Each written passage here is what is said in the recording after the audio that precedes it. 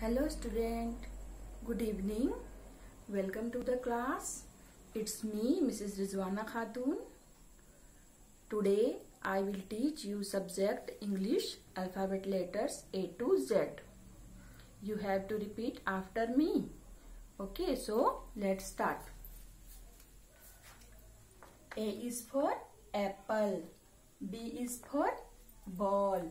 C is for cat. D is for dog. E is for elephant. F is for fish. G is for grapes. H is for hen. I is for ice cream. J is for jug. K is for kite. L is for lion. M is for monkey. N is for nest. O is for orange. P is for peacock. Q is for queen. R is for rose.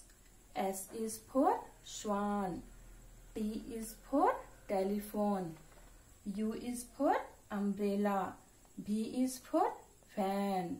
W is for watch. X is for xylophone. Y is for yacht. Z is for zebra. Okay, understand? So, open your book and read. Okay, thank you.